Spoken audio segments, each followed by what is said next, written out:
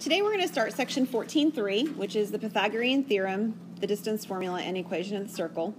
Uh, we won't get to all those things, obviously, but we're going to get started on them. So to begin with, we're going to look at the Pythagorean theorem. The Pythagorean theorem says the following. If we have a right triangle, that's important that it's a right triangle, and it has legs of lengths A and B, and a hypotenuse of length C, then A squared plus B squared equals C squared.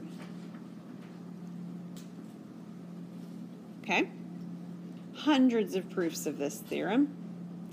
Um, in fact, we actually have a previous president of the United States who created a proof, President Garfield. Um, I just wanted to kind of show you a couple of the different diagrams that people associate with those proofs. I'm not proving it to you.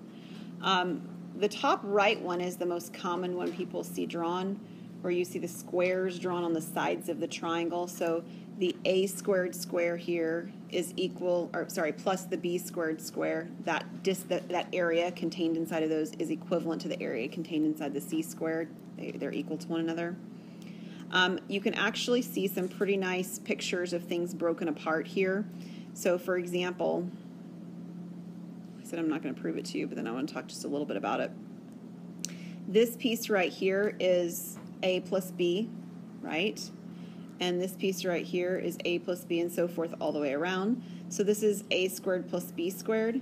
But if you take a look at it, we actually have the diagonals present in there for the c squareds as well.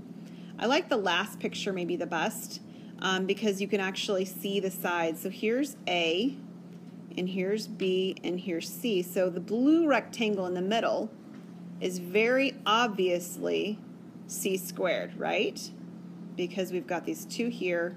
I'm not going to justify it to you, but these are in fact right angles. That can be proven. They are really going to work. So I have c squared in the middle here, and then I have a squared plus b squared if I actually break things apart differently. So different proofs, neither none of these are actually President Garfield's proof either. Um, if I remember right, he does something with a trapezoid or something like that to prove his, which is different. Um, but lots and lots and lots of proofs about this. We're going to focus on using these for problems, of course. So we're going to take a look at this diagram. How many right triangles do you see in this picture? There are three. Um, there's the big outer one because it's marked at the top that there's a right angle. And you have the smaller ones on the left and on the right because they're marked at the bottom as right angles. Is everybody good with that? All right, so taking a look at that information, we are going to find the side lengths y and x. But in order to do that, when we're talking about any kind of a formula, we have to use something where we know everything but one variable. For example, if you tried to find the length y right here, right? It's a leg of a triangle. And you said, well, I'll just use the left-hand rectangle. You're going to find yourself short on information to do that at the moment. Why? We don't know the other side, right? We only know one of those three side lengths that I just highlighted in red. That won't work. But there is a triangle that we know two pieces of the information for. Which one is it? Allison? The big one, right. If you take a look at this larger triangle, I know two of those three pieces of information. So tell me, what do you see? What are legs? What's the hypotenuse? Let's start with what is the hypotenuse? What is the C in this particular big triangle? It's the X on bottom. The hypotenuse is the side opposite the right angle. And the right angle in this particular triangle is right up here at the top. Oh my goodness, that was really thick. Let's try that again. Extremes today. I'm going with extremes. How about that? There we go. So there's my right angle, and opposite it is the x.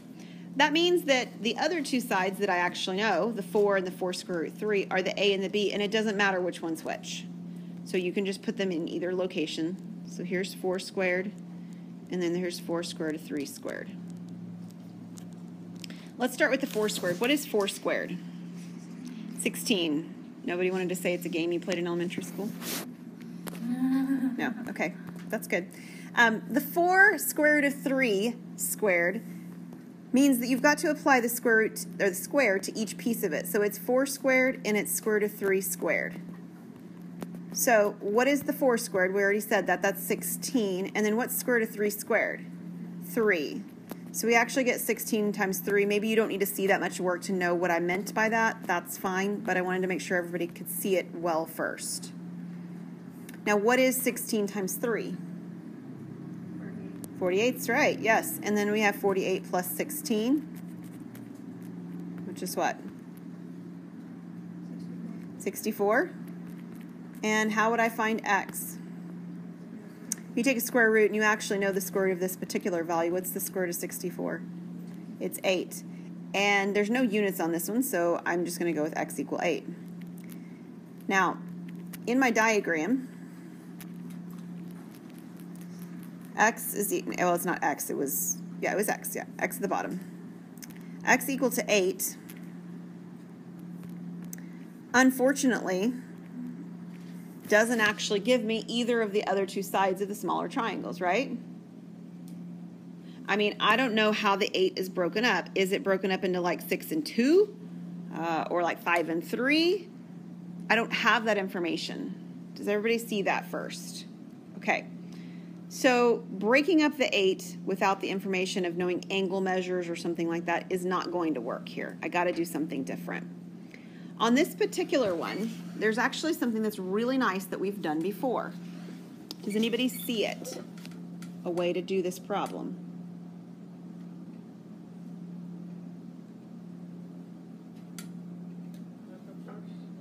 We are going to be able to do a proportion. Any idea why, Rachel?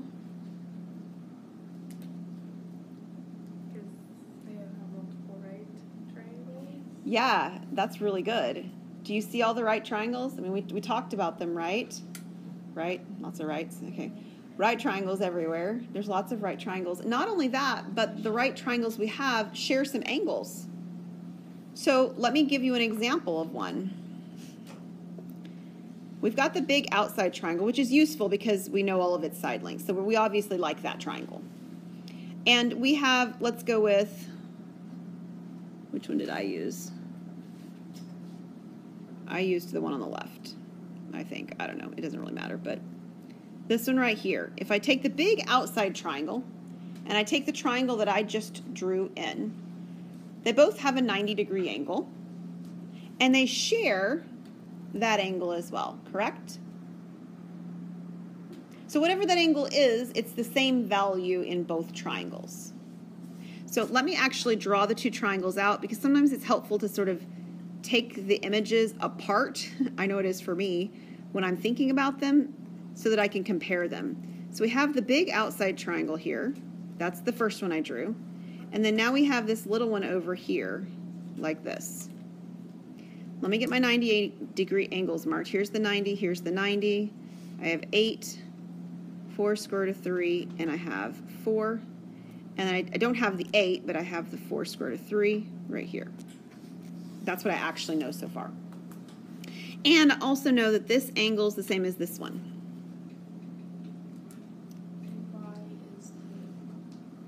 The angles?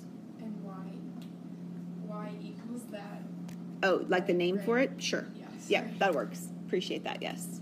It's an unknown value, but it's the one I'm looking for. You're, bet, you're right. Okay, so is everybody good with the fact that we know two of our angles and they match? The 90 degree one and then the one that's the exact same angle. What does that tell me about the third angle in my triangle? The triangles are similar because what is the third? The triangles are similar because I have angle, angle, right? And I actually can also talk about the fact that that third angle matches, right? Because I've got two angles, but angle, angle is enough. You're right. So I've got similar triangles here.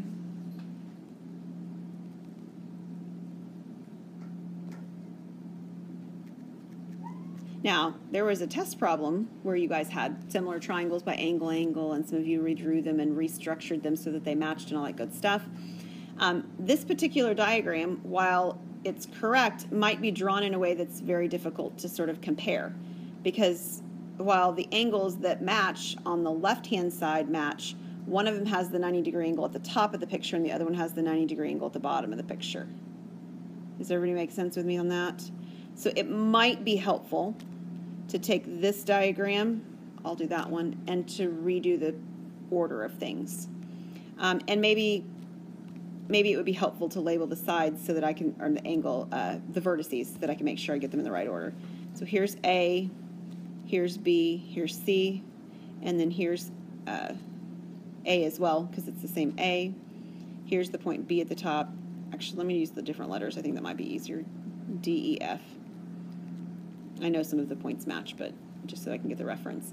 So ABC I'm going to leave the same. I'm not going to manipulate it, but I'm going to manipulate triangle DEF. So if I take DEF and I redraw it, I still want the D to be in the same location. Everybody agree with me on that? I mean, like you're good with that? Because I, I don't, I don't want the angle that matches to move, and those two already match. But I do want the 90 degree angle here at the top instead of at the bottom, and that 90 degree angle is what I called E. So basically, visually speaking, E and F are changing places. Where does the 4 square root of 3 go then? At the bottom, because the 4 square root of 3 is actually the side DF. So the side DF is now at the bottom, so that's 4 square root of 3 here. And the Y is side EF, so that's over here. Because I have all that set up now, which I need to shrink because I'm running out of space. Whoops.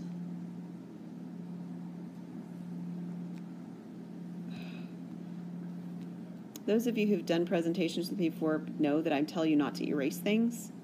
And then I just erased a whole bunch of stuff here, which is causing me problems on selecting things. Um, let's do it this way. I didn't erase anything on the left. Okay, so I'm going to set up a proportion like Rachel suggested when we were first discussing this.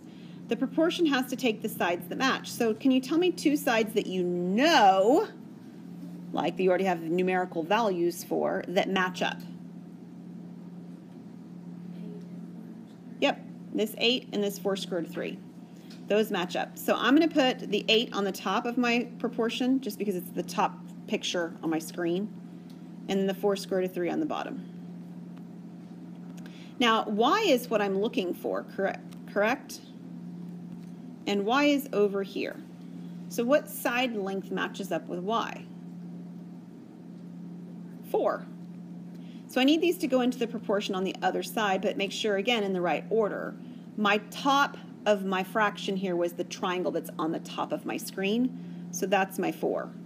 And the bottom is the second triangle on my screen, which is y. And then I will be able to cross multiply to find the value for y. So I have 8y equals 16 square root of 3, I think. Is that right? And then what would I do? Divide by 8. What is y? 2 square root of 3.